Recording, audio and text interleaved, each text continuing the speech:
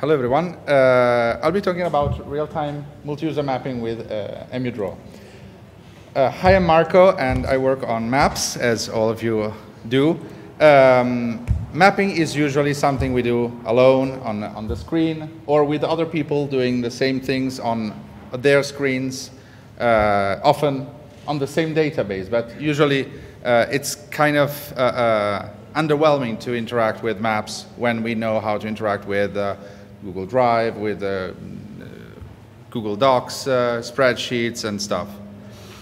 Uh, normally, what we do is we have each, of, each and every one of us has his own uh, leaflet uh, interface in which, obviously, thinking of web mapping and doing stuff on the web, uh, every one of us has his own leaflet interface on his browser, and the database is the same, and we have to refresh, and things happen. The updates come up to our screen only after a refresh and uh, uh, or, or our interface does polling and stuff and things happen only uh, once every time we do something interactive.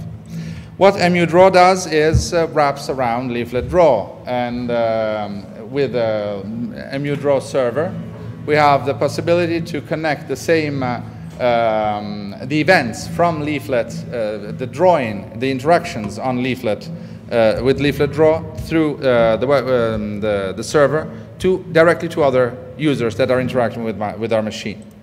Uh, it's taking some time to finalize this, uh, this thing because uh, we want it to be also compatible with MapLibre. So to have one, inter, um, one system that talks to, to, both, to both worlds, to have possibly two interfaces done with different tools on the same data connecting uh, with uh, uh, an, under, an underlying um, connection, an underlying WebSocket connection. So what kind of actions are mapped? Creation of points and markers, meh, obviously, uh, that's easy. Uh, lines and partial info online, not editable by other users, and polygons, again, partial info on polygons not editable by other users and the edit of properties, of single specific properties, um, which are not edited and changed as a, as a, as a, as a block, as, a, as an atom, but only as single specific properties in order to keep things as uh, variable as possible. Uh, who's using it? We're using it on our gazetteering toolkit, which we will be releasing uh, by, the, by the end of month uh, as open source uh, system to georeference and um, uh, create gazetteers.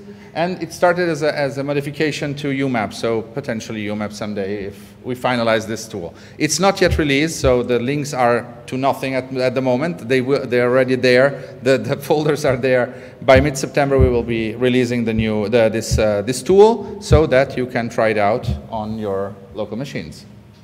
Thank you.